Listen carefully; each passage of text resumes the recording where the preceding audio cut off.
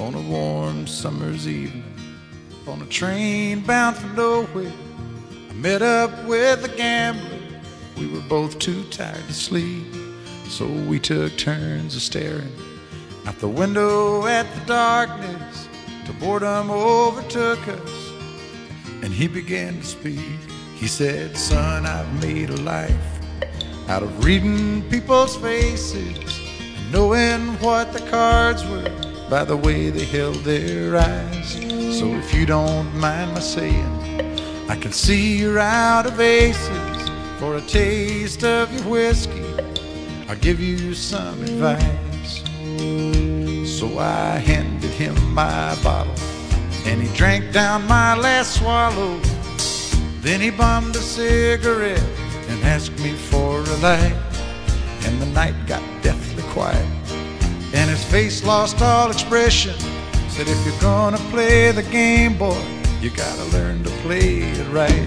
You got to know when to hold 'em, know when to fold 'em, know when to walk away, and know when to run.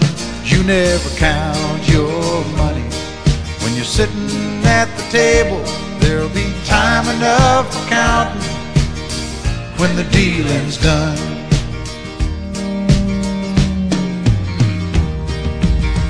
Every gambler knows that the secret to surviving is knowing what to throw away, knowing what to keep. Cause every hand's a winner, and every hand's a loser. And the best that you can hope for is to die in your sleep. And when he'd finished speaking, he turned back toward the window, crushed out his cigarette, faded off to sleep. And somewhere in the darkness, the gambler he broke even. But in his final words, I found an ace that I could keep. You got to know when to hold 'em, know when to fold 'em,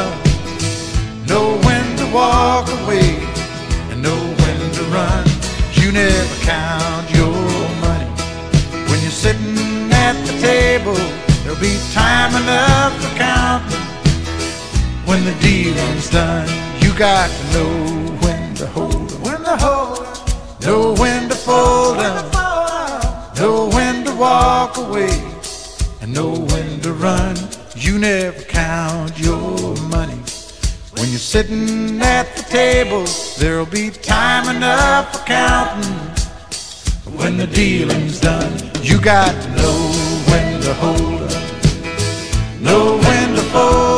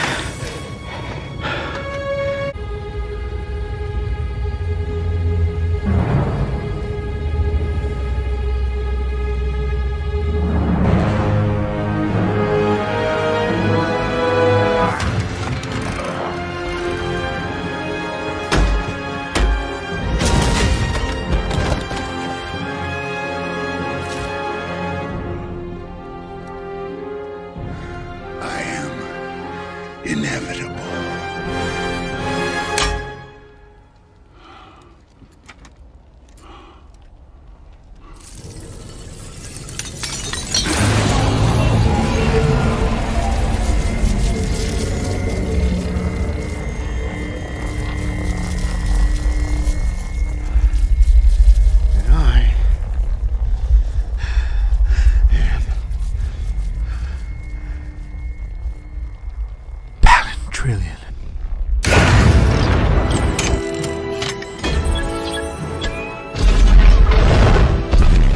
Earnings call, you said, we have no pricing strategy. We're going to create a lot of value, we're going to get hundreds of customers, and we will price it as we go. Have you made any progress on pricing strategy since that? No. Uh, why? Okay, Why so relaxed about it? Because if you, it's like one of these things. Like when you go to a bar, you know everyone wants to meet you. Do you have a pricing strategy when you go to the bar? No, you're like, oh, I'm cool. I know we have the best product on the market. I know customers will pay us fairly. I know that it's much more valuable than anyone will understand until they install it. And we will sort out. There's a it, to make it like slightly academic. I believe in Pareto optimization. We are going to create a lot of value, and we're going to get some portion of that value. And customers are smart; they'll pay you some portion of the value. Why should I? Like, just as an axiomatic thing, if you have a software product, you always want to get paid after you deliver value. If you've got a PowerPoint, something that doesn't work, something that's not valuable, you want to get paid before you create value. We know it's valuable. We know it's much more valuable than people understand. We know we're going to continue to, to augment that value, and we're going to get paid along the way. Well, the counter consideration is how much you invest in the product. But we've already invested billions in building these things over, in various components over the last 20 years, and we have the we have the IP, and we're basically sewing it together and adding things on top of it. And so we know we have the IP. We're certain of the value. Why would we? So again, I come to you. I'm like, hey, I'm certain this is very valuable. Pay me 10 million dollars. What are you going to say? Well, I don't have $10 million. but if I were Yeah, a customer. well, okay. Sh- give me your British charm. Well, in this in- well- for your British charm. My, uh, my, my British charm, if I were a customer, would say this is a really hard environment. If I think about cloud, Exactly. customers are looking for value, Great. but the lowest So, price. now, if I, if I, if you believe you have the best product in the world, what are you going to say? Okay, great. Let's not even have that discussion. I'll create the value. You tell me how much value you create. I, by the way, if you don't want to pay me, then I'll go to someone else who will. You can just you can have different margins than the person who'll pay me. You can have a different safety profile than the people. You can have a different ability to control your whole business from your laptop than someone else because the person who valued it paid me. If you don't want to pay me, great.